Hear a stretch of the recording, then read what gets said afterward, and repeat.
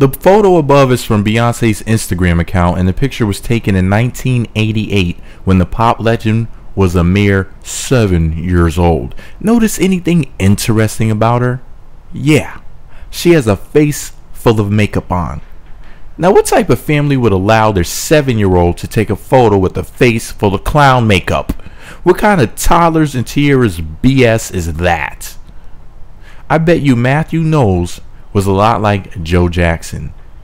We should be very careful about judging Beyonce, our queen, Queen Bey, because we have no idea what our goddess went through growing up, so tread lightly. All I know is that Beyonce was sold as a circus freak to the neighborhood around that time. You know, this was, of course, when she was doing her infamous fire shows with her amazingly hot breath. Even though the government still has her banned from touring colder climates because of the evidence that she was melting icebergs with her mouth closed at the time that she last visited, NASA is keeping her in their back pockets in case the sun dies out.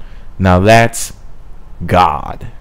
Let me know what you think about it below and be sure to subscribe to the MEET Magazine YouTube channel for more and visit meetmagazine.blogspot.com. My channel is about to get as hot as Beyonce's breath after eating a sandwich made of all onions.